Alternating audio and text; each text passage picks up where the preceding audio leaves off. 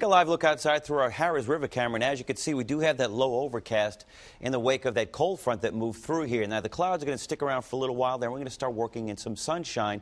We're also going to get some colder air that's going to move in here, so which means temperatures are going to be on the cool side. Speaking of which, let's go to our exact live radar. Check them out. We've got upper 40s in a few locations, like Hammond, down in Kenner.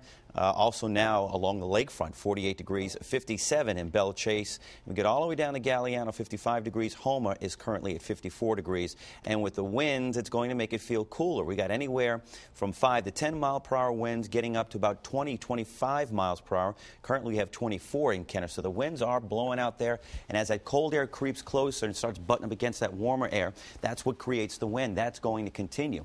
Now, your exact cast headlines for today, we're going to keep it mostly cloudy in the morning. Then we'll start working in more sunshine, a few lingering clouds, and it is going to be windy by the afternoon. And overnight, it's going to be cold. Temperatures are going to be in the upper 20s on the North Shore tonight, so be aware of that, and it's going to be cold all week long. We're not going to get rid of this cold air mass for a little while yet. All right, 8 o'clock, notice the cold front is beyond us, holding on to just a few clouds. We are setting up some high pressure. We'll keep with the northwesterly winds. This is 3 o'clock. By the time we get into the evening hours, it's going to be downright cold and windy. It's going to stay like that for the next 24 hours. We'll lose the wind, but we are going to hold on to the cold temperatures, unfortunately. So if you don't like the cold weather, you're not going to like the forecast. If you do, well, we got a good one for you. High tides and low tides for the Rigolets, Grand Isle, and the Southwest Pass. There is your range just under two feet. Now, if you, uh, again, heading out to the parade, here's what you can expect right about 5 o'clock.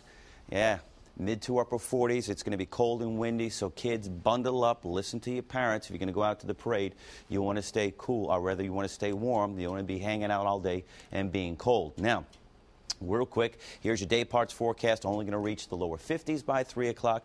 And there are those cool temperatures I was telling you about. We're not going to get rid of this cold air for a little while.